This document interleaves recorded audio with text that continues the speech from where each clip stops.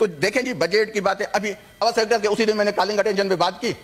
एक ऐसा मिनिस्टर साहब जिसको पता नहीं है पावर डिवीज़न का। वो हम छोटे होते थे मेरे सिंधी दोस्त बैठे या शायद ये बलूचिस्तान के लोग। एक ड्रामा चलता था जानू जर्मन।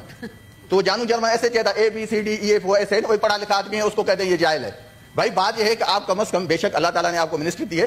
अल्लाह ने दी है हम तो नहीं कर सकते। आप जिस भी तरीके से इलेक्ट हो क्या है वो अलग इशू है। लेकिन आप जिस डिपार्टमेंट को चलाते हैं आपको पता तो होना चाहिए कि आप कह क्या रहे हैं। वो कह रहे हैं कि कॉलिंग अटेंशन सही नहीं था ये हम प्लान नहीं बना रहे। आखिर में कह रहे हैं कि छह आठ साल में ये बन जाएँगे। ओ भाई ये अपने स्टेटमेंट पे तो कायम रहे। अगर मिनिस्टर इस हाउस में बैठ के गलत बात करेगा झूठ बोलेगा तो डिपार्टमेंट क्या चलाएगा? कोशिश कर ले कि थोड़ा सा अबड़ो साहब मुख्तसर करे। टाइम डिप्टी साहब नहीं सबको टाइम सब नहीं सबको सबको टाइम दोनों तरफ़ देना है तो सारे मेंबरान की है बात यह है कि जितना मैं आपके लिए लड़ा हूँ उतना कोई नहीं लड़ा। आपको इस चेयर पे बैठाने के लिए। वरना आज श्री बैठती इधर और जितना आप आज़म भाई ऐसे है ना मैं आज़म भाई को मैंने कहा था। तो ये नून लीग को करना चाहिए था मैं लड़ा उसके लिए। मेरी पार्टी अपनी कह रही थी कि सैदाल को क्यों? मैंने कहा नहीं ये इज़्ज़त है हमारे हाउस की। डिप्टी चेयरमैन को चेयर करना चाहिए। शुक्रिया। क्योंकि ये ट्रेडिशन है ना। मुझे एहसास है। इस, इसके पीछे और भी चीज़ है आप, आप मुझे देखें आप जितना बीच में बोलेंगे ना मैं उतना इसको लंबा करूँगा इसको कम नहीं करूँगा। अच्छा चले। तो ये एक्चुअली आपके खिलाफ एक कंस्पायरेसी थी मैं फिर आपको कान में बताता हूँ जब उतरते हैं ना। तो ये अच्छा अभी मैं आ जाता हूँ। अभी देखिए, आ जाते हैं इस बात पे ना, जो यहाँ दोस्तों ने बात की कि जी, मुझे बात करनी नहीं चाहिए थी।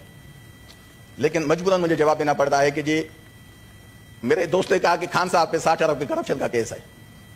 और नवाज़ शरीफ साहब के लिए बहुत इज़्ज़त है। प्राइम मिनिस्टर रहे हैं, पार्टी के सरबराह हैं। हमें इन चीज़ों पर नहीं जाना चाहिए। लेकिन अगर मैं बात करूँगा, ऐसी नहीं करूँगा किसी को तकलीफ़ हो, लेकिन हकायक बयान करना लाजमी है। देखिए जी, मैं पहले आ जाऊँ साठ अरब की इमरान खान साहब ने कैसे करप्शन की? भाई, पैसे जो थे पैसे आपके, मलिक रियाज साहब के।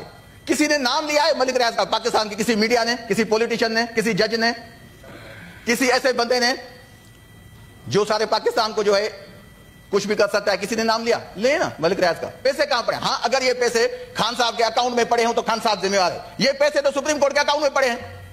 अगर वक्त के काजी को ये देखने में नहीं आता तो उसका उसका कसूर हमारा क्या है उसमें? वक्त के काजी को देखना चाहिए, पैसे उसके अकाउंट में पड़े हैं। माजी में ऐसे डिसीज़न हुए हैं माजी में ऐसे डिसीज़न भी हुए हैं। अभी हुआ ना, भुट्टो साहब को 1979 45 साल के बाद भुट्टो साहब को इंसाफ मिला। यहाँ जब इस हाउस में ज़िक्र होता है ना, मत मोमिन, मत हक, वो जयाल वक्ता हम उसको शहीद भुट्टो का कातिल समझते हैं। मुझे पता नहीं कि पीपुल्स पीपुल्स पार्टी वाले क्यों नहीं बोलते। ये शायद न जाने क्या इनको हो गया है। यहाँ बातें हुई। अच्छा मैं आ जाऊँ नवाज़ शरीफ साहब पे। या छोड़ देना, यहाँ जो भी हम मेंबर्स बैठे हैं, हम अपनी कबर में जाएँगे। मैं आपको एक इल्तिजा करता हूँ। आप कुरान शरीफ यहाँ लाएँ, हल्फन सब लेते हैं। पहले मैं उठाता हूँ कि किसका मेरा लीडर ईमानदार है या नहीं है। मैं उस पर हलफ रखता हूँ। मैं सब दोस्तों को कहता हूँ, हर कोई आए, अपने लीडरशिप के लिए हलफ ले। मैं सबको कहता हूँ। मैं डिटेल में नहीं जाता। यार, हम थोड़ा सा काम करते हैं, कहते हैं ये पाँच लाख आपके अकाउंट में कैसे आए? एफबीआर हमें नोटिस भेज देता है। ये बिलियंस की प्रॉपर्टीज़ एवन फ़ील्ड की प्रॉपर्टी कहाँ से आई? मैं यहाँ सेनेटर हूँ। मेरा एक बच्चा है अभी वो इस कमाने के पोजीशन में नहीं है। कल उसके अकाउंट में बिलियंस आ जाए। वो कहे, मैं कहूँ कि मैं इसका जिम्मेदार हूँ। कैसे नहीं हूँ? कौन सा उसको जादू का चरा गए केसेस हम क्यों मनाएँगे? यहाँ केसेस का ज़िक्र हुआ।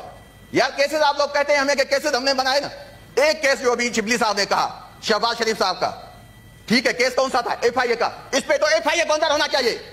एफआईए ने कैसे वो स्टेटमेंट दी थी उस टाइम कि ये इतने पैसे उनके अकाउंट में पड़े हैं, जिसके लिए शहबाज शरीफ गए अदालत में। उन्होंने कहा, जी, ये मेरे बेटू के अकाउंट में पैसे हैं, मुझे पता नहीं है कैसे पैसे आए। कैसे उनके बेटू के अकाउंट में पैसे आए? ये अगर जब हुकूमत आई पीडीएम की तो एफआईए ने कहा कि केस झूठा था। तो मैं आपसे डिमांड करता हूँ, आज़म भाई से कहता हूँ, उन एफआईए के अफसरों को मंतकी अंजाम तक पहुंचाएँ, अगर उन्होंने झूठा केस जो दायर किया था शहबाज साहब पे, हमजा साहब पे, उनकी फैमिली पे, नहीं होने चाहिए झूठे केस अगर वो केस उस वक्त सही था तो फिर शहबाज साहब इलीगल उसमें बरी हुए हैं। दोनों साइड में फ़ायदा पीडीएम के गवर्नमेंट का नहीं है।